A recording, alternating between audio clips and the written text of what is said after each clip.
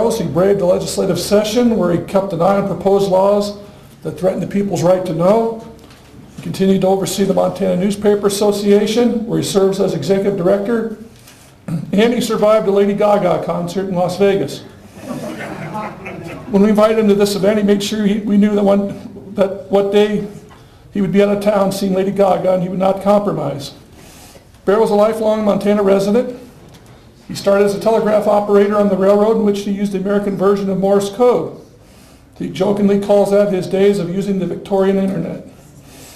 His adventures in journalism have taken him to Wolf Point Herald News. He served 12 years as publisher of the Ravalli Republic, five years as owner of the Buffalo Bulletin in Wyoming, and 16 years as publisher of the Dillon Tribune. He's been with the Montana Newspaper Association for almost six years. He and his wife Roberta now live in Helena.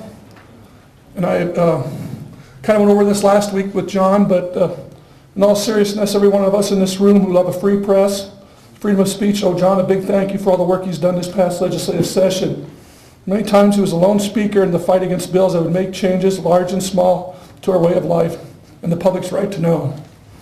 And I'd see him in the hallways of the Capitol sometimes, I swear he looked like Rocky Balboa in the 10th round. But he's still with us, and I'd like to give John a hand for all he did for us this last session.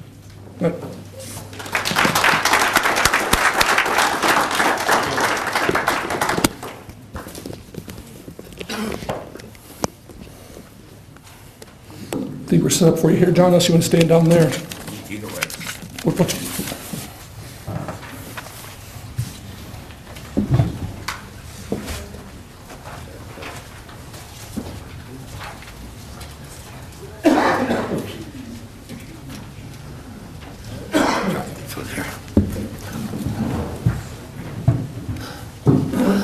Uh, Thank you very much. It's a pleasure to be here. Uh, Last week, we were in uh, Bozeman, and we had a seminar for our newspaper editors and reporters, and uh, we were very delighted to have Phil Drake as one of our presenters.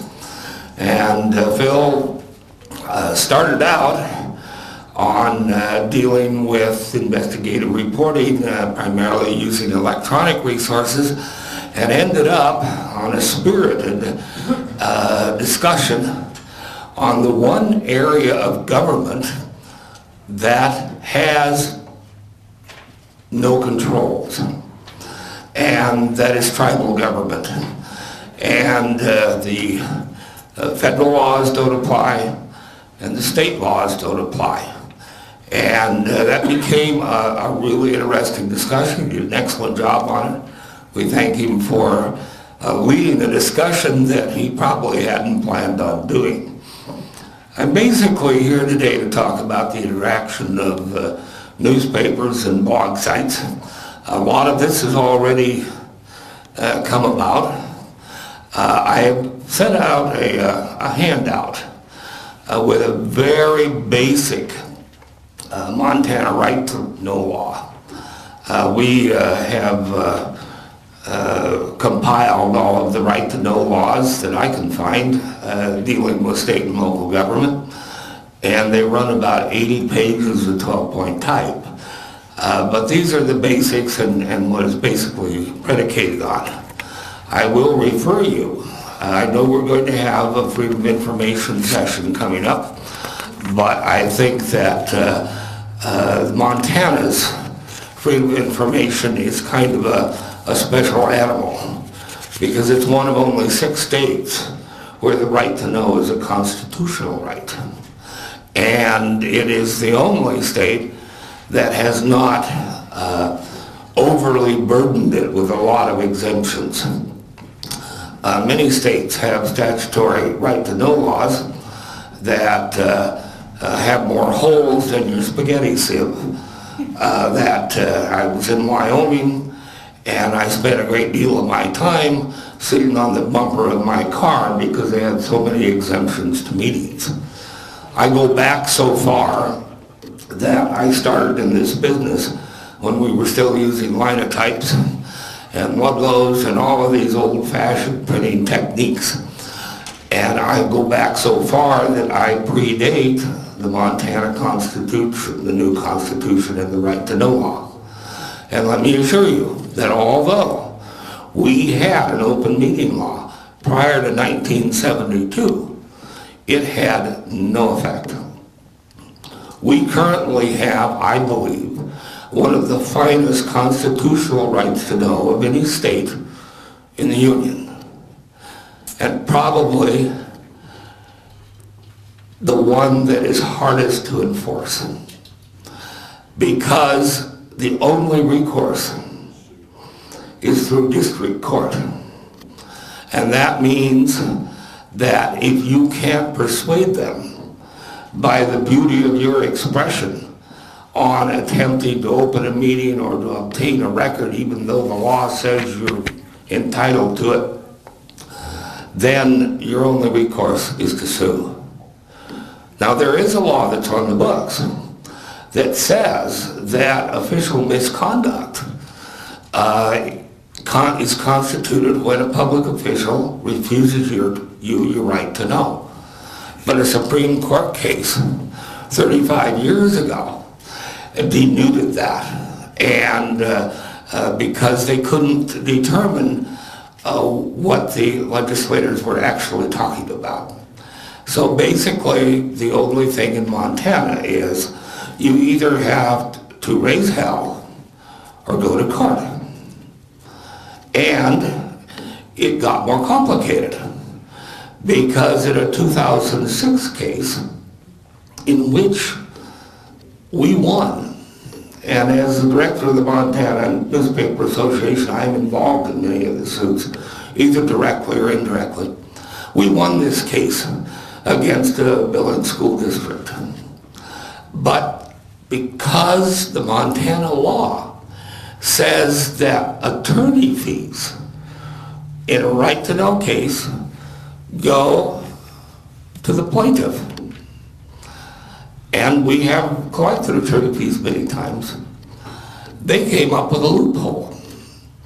If you file a declaratory judgment petition, then, which asks the court to decide, the government entity becomes the plaintiff. And although we have not had any court uh, or attorney fees assessed against us, uh, if we would lose, we don't get any if we win. Now, the Montana newspapers can take care of themselves. But of the lawsuits over the past 35 years have been filed in Supreme Court of Montana, there's about 80 of them that deal with right to know or public records. A fourth of them were filed by media. Everything else is by individuals, organizations, other governments, and associations. The right to know law is not the press's law, it's your law. And that's what we have to rigorously maintain. Now, we made an effort this session to overturn that 2006 uh, ruling by the Supreme Court. We made it through 49 to 1 in the state senate.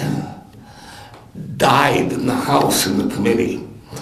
Uh, they had so many amendments tacked onto it that it reversed itself. And uh, we had to work damn hard just to kill it and keep it tabled.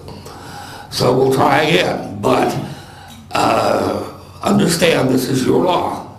And sometimes the only thing you can do is to sue. Now, we can help you. On the third page of this handout, there's an ad. And this is the Montana Freedom of Information Hotline. This is financed uh, by grants and by media donations.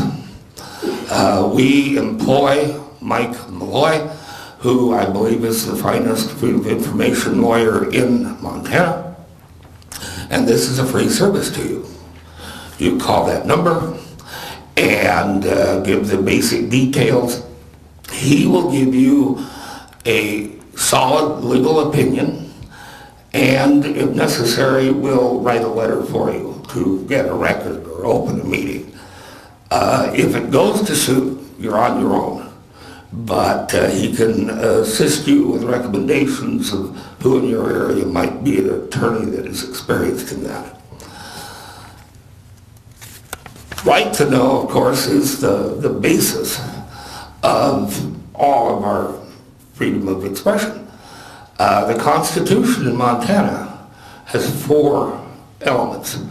One is the freedom of expression, which includes you and us as the press. Another is the right to know. The most important is the right to participate, because the right to participate is predicated upon the idea that you know what's going on. So these three elements then are balanced against a constitutional right of privacy. But that constitutional right of privacy is basically inferior to the other three because the Constitution says that you have a right to know unless the right of privacy clearly, triple underline, clearly exceeds the public's right to know.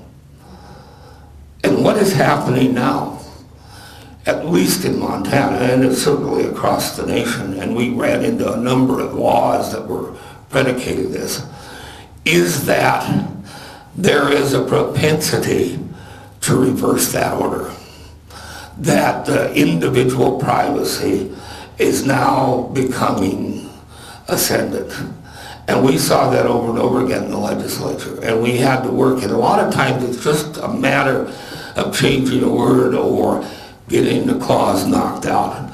But there is a definite propensity, and that does not bode well for professional journalists nor for citizen journalists. So it, it is an area that you must be aware of, and it is a, a problem that affects us all. Now, when we get to the interaction of uh, blogs and the newspaper, uh, Mr. Kagan's practically said everything I'm going to say. And he's talking about professionalism. And that professionalism is our stock of trade as professional media, and it should be yours too. Uh, I have included in the last two pages the Society of Professional Journalists Code of Ethics. And these are voluntary. Papers don't have to follow it. But if you look at it, you can see where mostly they do. Now, the Society of Professional Journalists has also come up with a blogger's code of ethics that is included.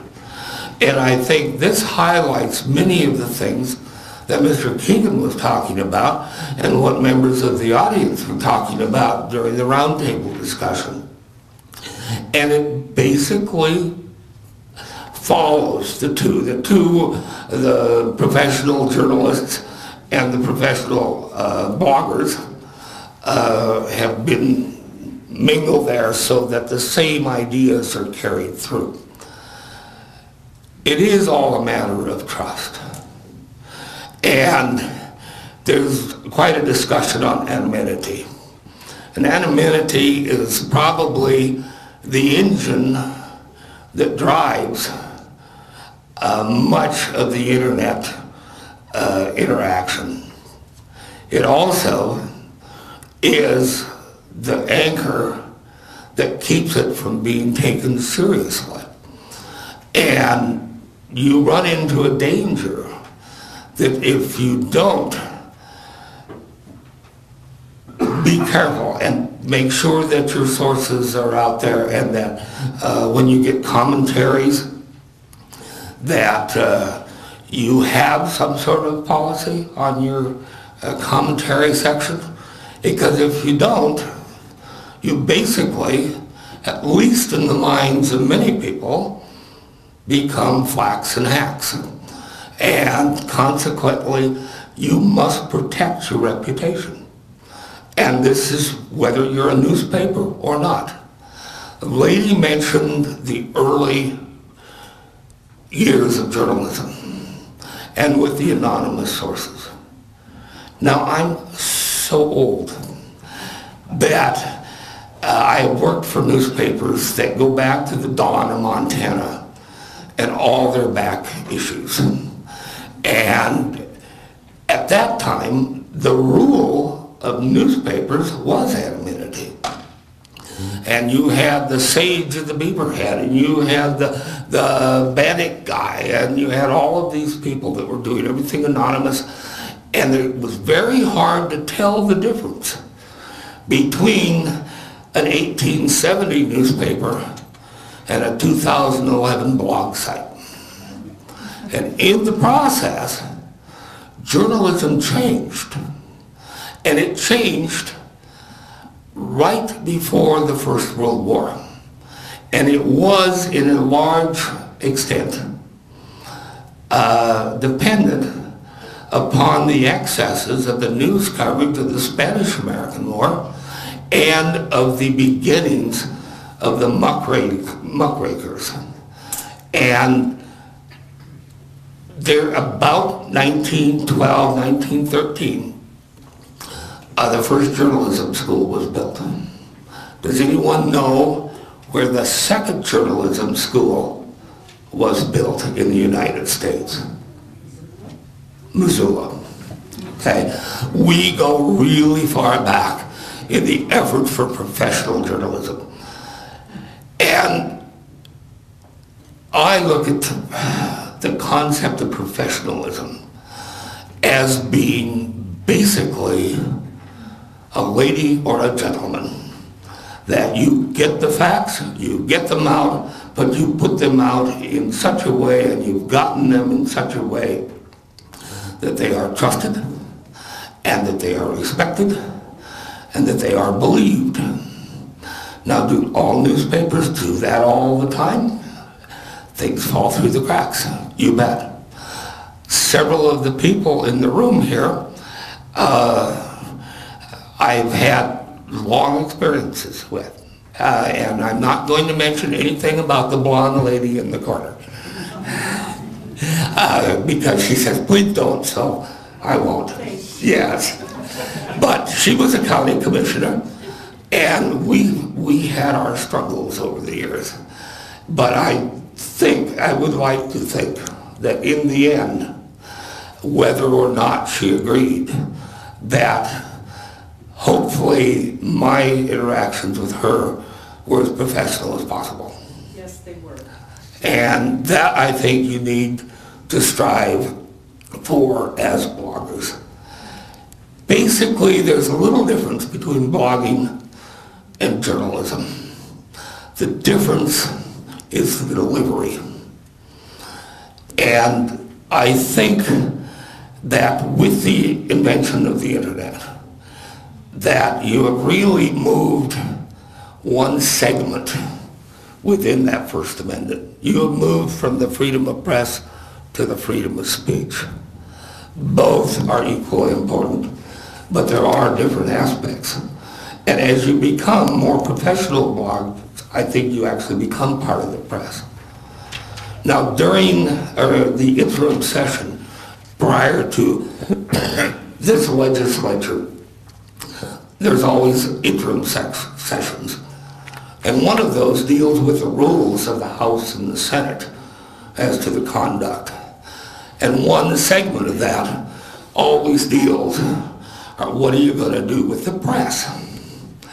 And they came up with a rule that would, uh, that deals primarily with the floor access of who, who is accessible. And when they started the rule, it was for accredited organizations. Now there's no definition of what accredited is.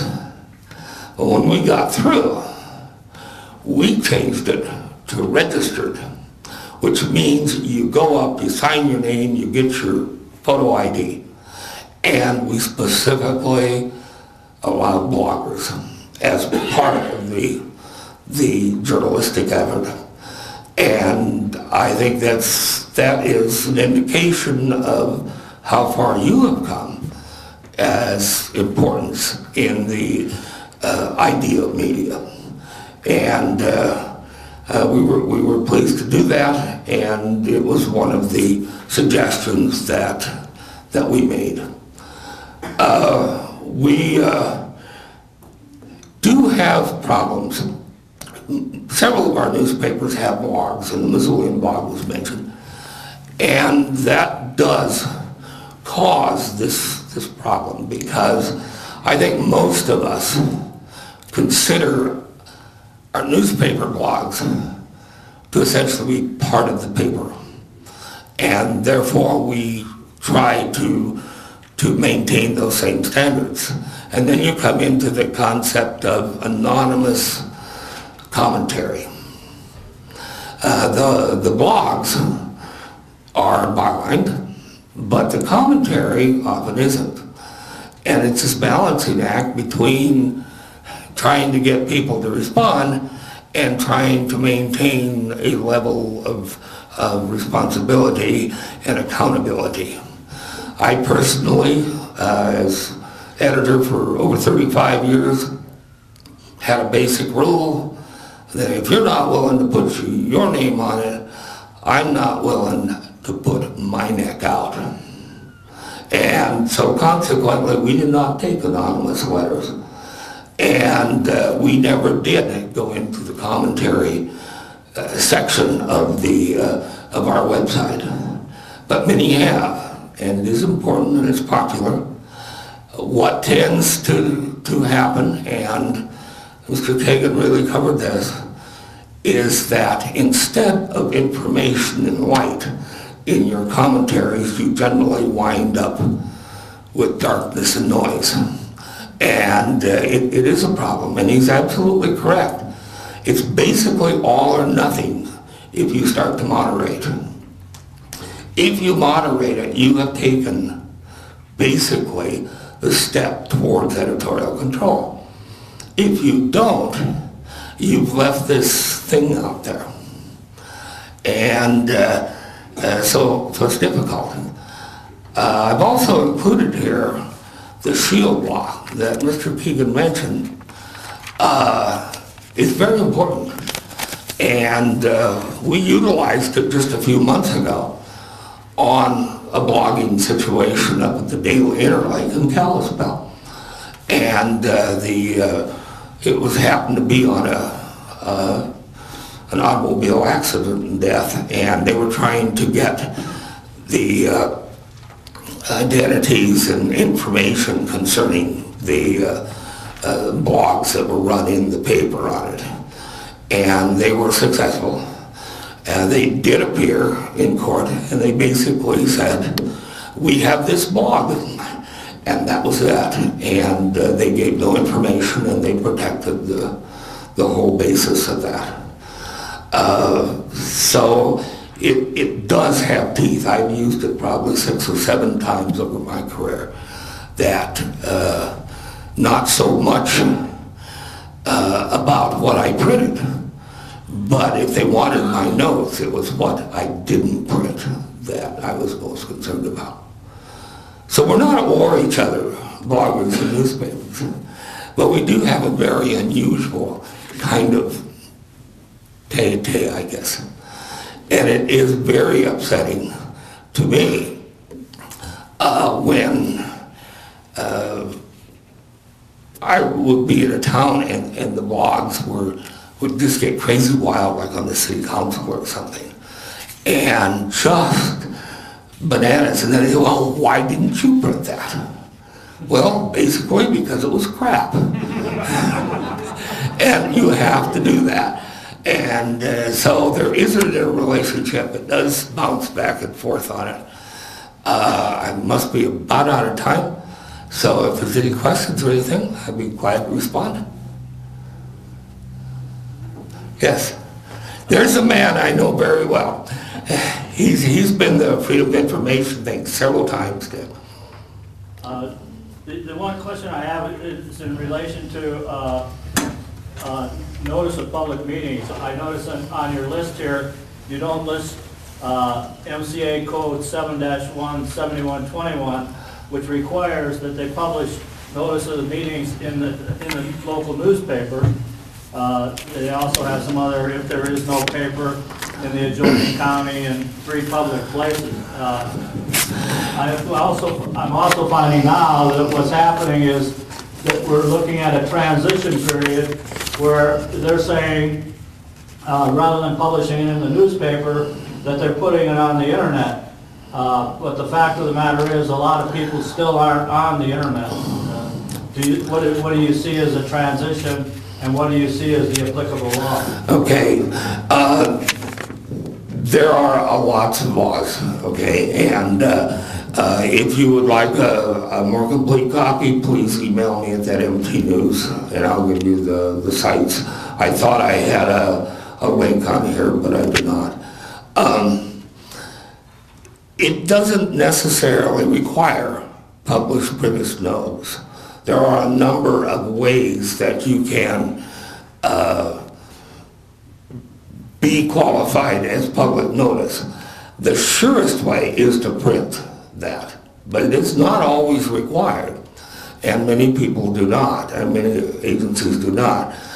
Is it moving that way? Several states have had some major fights. Uh, Utah lost its public notice to a government website, and we're able to get it back this year. Uh, Wisconsin is in a fight for their life right now. Uh, last two years, 14 states have, have battled that. Now, we have, uh, although it's not perfect, and we don't have all the papers on it yet, we do have a public notice website, and that's called publicnoticeads.com. And click on Montana, and we have uh, probably half of the papers uh, that list all of their public notice on, on the website. John, uh, Jim here. You know, I was involved in, in the legislative process this year trying to get that bill through, and, and as understandably, we ended up having to do a lot of things to, to put it to sleep. Um, my question is, of course, I want to thank you for your resolve for fighting for freedom of press and freedom of speech here. And do you have any, uh, game plan right now with the session closing where we can look forward to getting on the war wagon, if you will, fighting for this going through the interim and into the next session? Well, we would be glad to, to meet with, with anyone that is interested. We're definitely going to go on that law again. We're definitely going to bring a couple other ones up. This was my very first attempt at trying to actually pass a law. And uh, it's harder to pass than to kill. And, uh, and we learned and, and got a little complacent when we did so well in the Senate. Didn't see that one representative that was sitting out there. And by the time we figured out the argument, it basically was too late. So we had to go from there.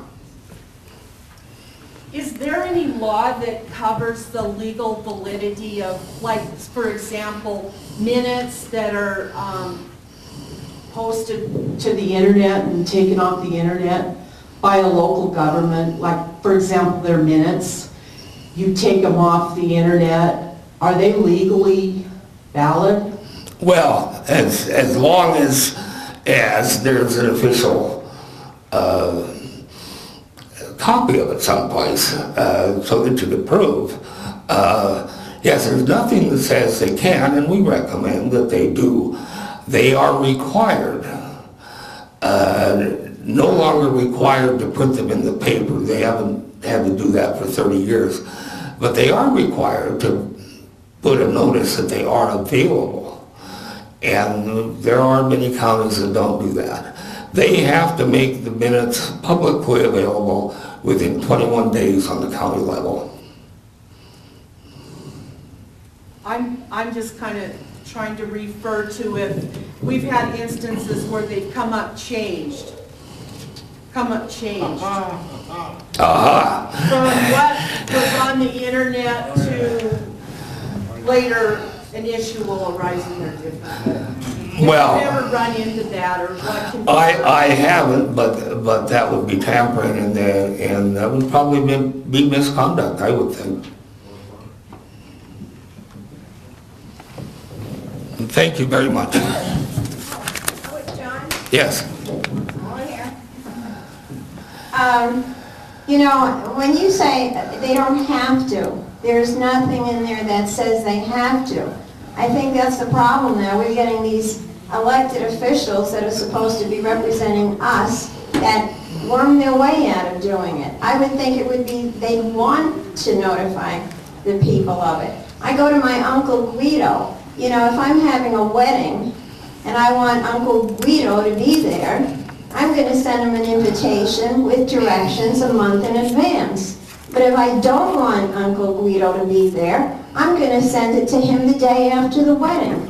And this is basically what I find. I get this, we don't have to do that. Well, I voted for you, and you're supposed to do it, whether the law says so or not. Yeah, the, the law says that there has to be public notice, uh, where, where the discussion really is, is what constitutes that public notice. And there are some segments of public notice that are specified. There has to be a published, uh, notice in, in the newspaper of the county. There are others that say, uh, that, that there are other alternatives. What happens is if there is a problem, uh, and somebody challenges that meeting on the open meeting statute, if there wasn't a published notice in the paper, then it is up to the government to prove the adequacy of its public notice on all other aspects.